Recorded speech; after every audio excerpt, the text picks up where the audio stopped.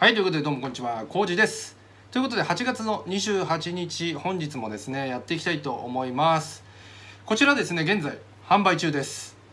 ねあのーかなりねかっこいいデザインになってるんですけれども気になる方がいらっしゃいましたらですね概要欄から覗いてみていってくださいと。いうことで、えー本日はですね日本のタブねすごい軽く言ってますけれどもかなりねあのーちょっとぶっ込んだ内容ねやっていきたいかなというふうに思います。まあ現在のですねあのいわゆる福島第一原発の処理水の放出海洋放出ですね。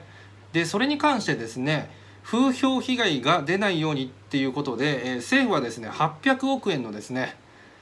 お金を使ってですねもみ消すっていうねあのことをやっております。なのでこういうですね動画もですねいわゆるその対象に、えー引っかかるねその対象内に入ってしまうんでねちょっとどうなるかわかんないんですけども、えー今日はですねそのことに関するねタブーに関してね、えちょっと触れていきたいかなと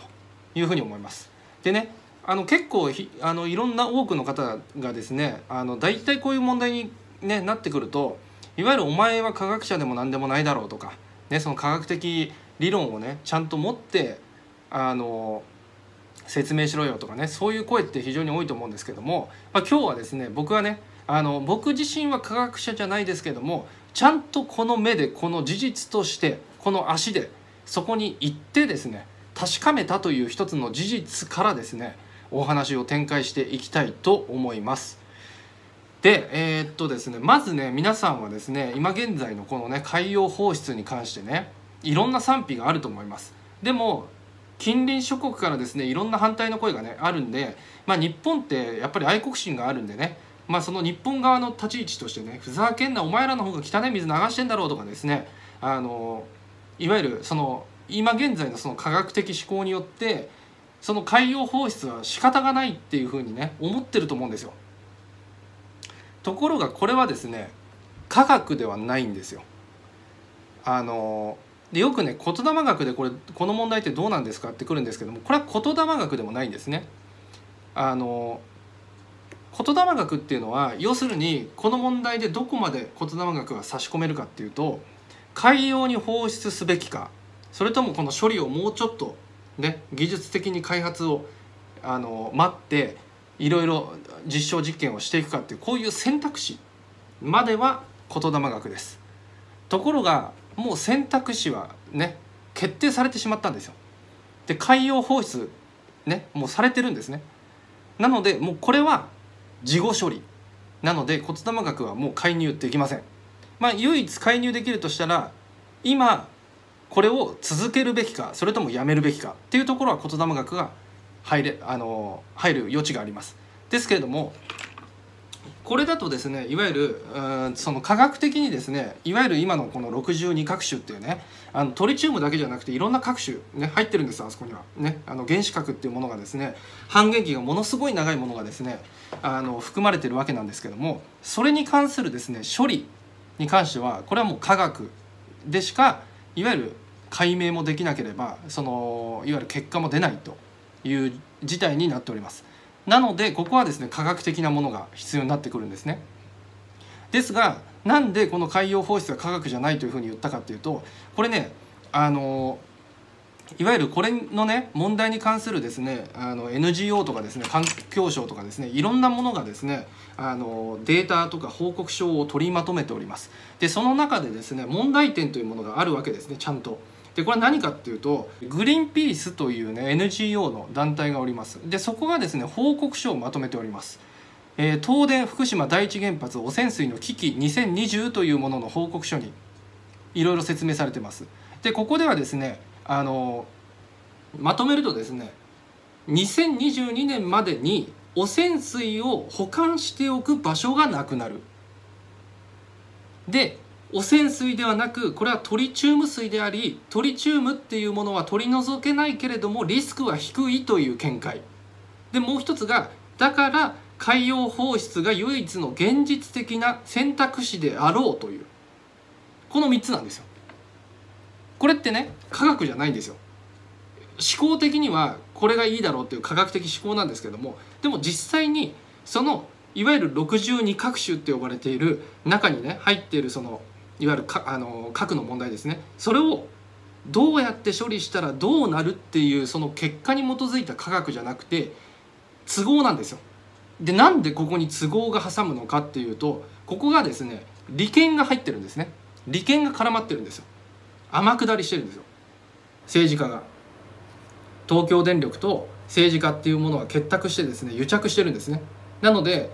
天下りしていい金もらってるんですよ。でここに天下りしていい金をもらうってことはここに入った人たちがいわゆる政府と働きかける関係性になってですねいわゆるいろんな自分たちの都合が通りやすいっていうこの構造になってるんです。だからもう利権がめちゃくちゃ絡まってる。でなんでお前はねこんな話をね全然関係ねえのにするんだというふうに、まあ、思われるかもしれないんですけども、まあ、この問題に関してですね僕4年前ですねとある企業に顔を出しました。あのまあご縁があってですねあの行った会社なんですけどもそこの会社はですね、えーと、名前はですね日本テクノ株式会社っていう会社です。あのなんかいろんなですねああの大政ガスとかですねそういうガスをですねいわゆる提供している会社なんですけどもそこがですね今回ねこの汚染水に関してですね提案書というものをね書いております。でこの提案書を読みますよ今から。これは実際に研究してる人ですからね。で実際にデータとして証拠も持ってる人なんですよ。今そのですね報告書を読みます。えー、っと提案件名がですね汚染水処理トリチウム処理等。提案者が日本テクノ株式会社。1番現在求められている技術の本質は放射能汚染水の除染ではなくここ重要なんですよ。除染ではなく無害化である。多量に溜まっている汚染水並びに増え続ける汚染水を放流水質基準以下まで処理することが目的であると考えております。吸着剤等による除去も一時的な手段としては有効かもしれませんが本質的には放射能を無害化したことにはなりません。高濃度に凝集された放射能汚染物がまた増え続けることによりさらに深刻な汚染に進んでいくことは誰もが否定できない事実であり被災地の住民の方々が大きな不安と不満を募らせているのが現実であります。今回のねこのご提案にあたって処理システムは弊社が保有しております世界で唯一の技術を核として開発いたしましたと。具体的に弊社保有の世界特許である、えー、高周波振動攪拌機による攪拌エネルギーとその攪拌機の攪拌用の振動バネを両極として水の電気分解によって大量に発生するナノマイクロバブルの破裂するエネルギーの共用である元素から他の元素へ変換する技術として、えー、その処理方法処理システムとして、えー、確立しております。この処理技術を用いることで放射能汚染水中の放射能を無害化することは当然可能であります。数回の社内テストにおいても約1ヶ月間という期間の間でその処理で約70%以上の放射能無害化ができたという報告が結果が出ております。現在の福島第一原発で設置されている放射能除染装置アルプスは放射能除染である。無害化ではない。ってことなんですね。この処理の過程で発生する放射能廃棄物のものと弊社の無害化装置で無害化するテストを早急にされてはいかがでしょうかという提案なんですよ。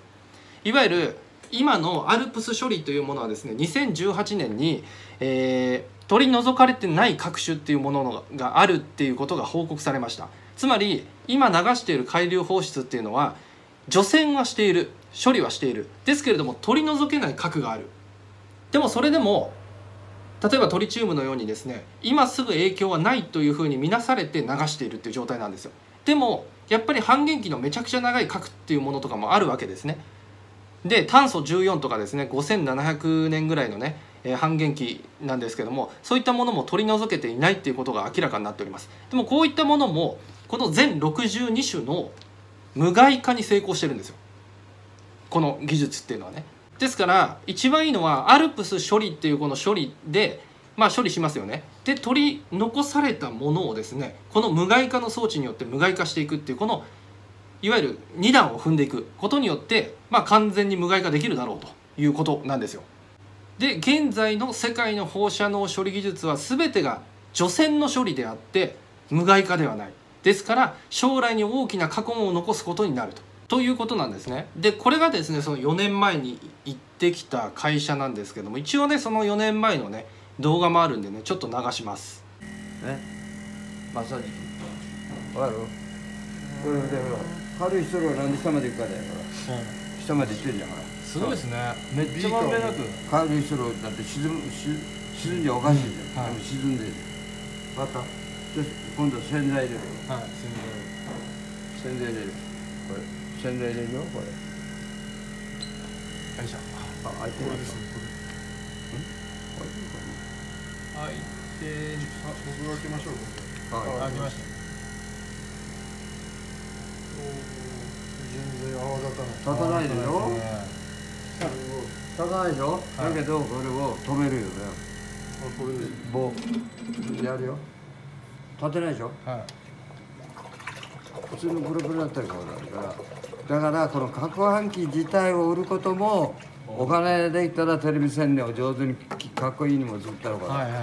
びっくり仰天するわけで実際実際こんだけ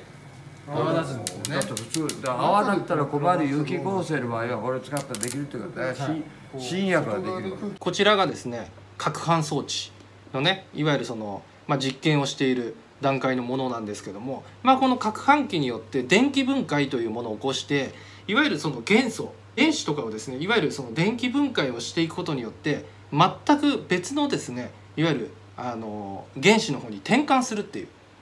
ものなんですよ。これはですね僕いつも言霊学やってるんで言霊学でこれをですね説明するとするならば要するに次元をですね転換するものなんですよ。ね、かさたな浜やらというふうにね並んでいる心の配列、ね、欲望の配列ってものを一旦ご破産にする破産してですねまた新しく組み替えて違うものになる。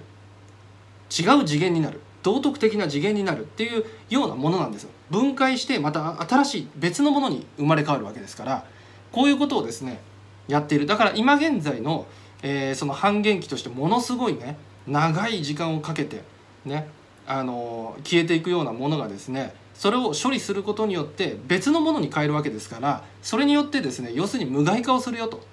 いうことの技術なんですよ。これをですね早急にやった方がいい。だからやっぱりそこ天下りとかの利権構造がねたくさんあってこのアルプス処理っていうねこの機械に関してもですねやっぱりそれを持っている利権があったりするわけですから、まあ、その関係性でですねなかなか進まなかったりねいろいろするわけなんですけどもこれはねもはや地球レベルのですねあの日本がとかっていう話じゃないんですよ。世界レベルですから。もう海洋に放出しちゃってでその後で事後処理として何か問題が起きてからじゃもう遅いんですよ。もう今流しちゃってますからね。流しちゃったものは取り出せないですから。だからこれがですね今のね利権を絡んでる人たちは自分たちが死んだ後の世界なんか知らないよって思ってるかもしれないですけどもこれはもう大変なるですね問題を抱えたままもう自分たちの利権がどうこうね言ってる場合ではなくなる事態にねなりかねない可能性潜在性を秘めておりますから政府もですねこれをね要するに風評被害だっていうね反対派の意見をですね800億円かけてねお金でね解決してそれをこうね消そうとするよりもその800億円を使ってこういったできますよって言ってる会社にもっと資金投入してですね研究開発費に使ってくださいよと。今現在のねやっていることをですねとやかく言われたくないと。風評被害がすごいからってそれのいわゆるねそれをその声をですねもみ消すために800億円使うんじゃなくて新しい技術の方にですねどんどんやればいいじゃないですか。ね、だから隠蔽体質だって言われるんですよ。でその隠蔽体質が言われるんだっていうそういういろんな人たちがこうやって意見がねバーって募って募っていろんなところでねそういう火種になっちゃうわけですよ。そのね信用がなくなるとかね。もしねだからこれは僕は原発の反対派なんではなくて原発をそのまま稼働させたいんであれば原発が稼働できる状態要するに無害化をしてってこういう事件が起こってもこういう処理をしたら、えー無害化ができてあの安全に使うことができるんだっていうこの一つの証明になるわけじゃないですか。そしたら原発だって長く使えるわけですよ。だから単に原発が反対だっていうふうに言ってるんではなくてこういった技術少なくともねあの科学的データとして実証されてる方がいるんだよということですね。だからこの実証データが実際にどこが問題点あるのかっていうのはそれは本当に科学的なねものすごい優秀な人たちが入っていかないと分かんないですからそこにですねもっと人員とですね要するにお金をですね投入してその変なねもみ消すことに800億円使ってないでこういうところに出してってね新しいその少なくともねこの人だって日本人ですからこの日本が持っているこの技術をですね世界に、ね、原発の事故はこういう処理をすることによってできるんだというひな形をね作っていただきたいなというふうに思っております。ということで、